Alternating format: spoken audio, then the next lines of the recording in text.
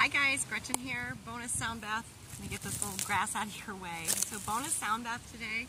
I needed to go outside. I have so much going on in my life and like I'm being weirdly ghosted by friends. So I had to get out of my head, get back into nature, become more myself. Bonus sound bath. We do have the wind. It's a pretty windy day and we have some birds behind us. So I am hoping that you do pick up on these sound bowls, um, in addition to the beautiful sounds of nature, to help you into your own grounding. This sound bath will be sent with that beautiful Reiki love I love to send mine with. And this one is for that grounding and releasing um, those high anxiety energies and just getting you back down to the earth, back down to that powerful I know who the F I am kind of uh, energy.